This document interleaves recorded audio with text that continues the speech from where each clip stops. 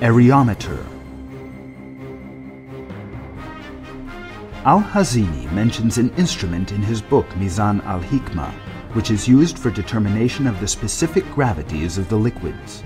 In our times, this instrument is called as areometer.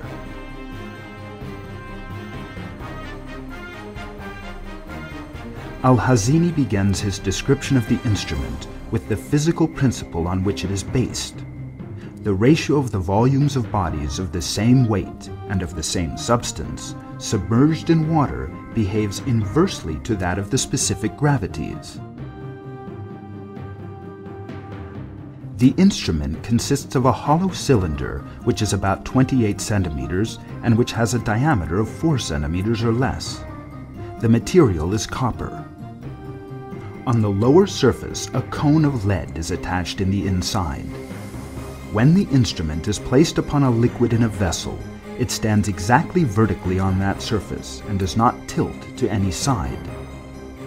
By a diagram, Al-Hazini illustrates the precise description of how he proceeded in drawing the lines on the instrument.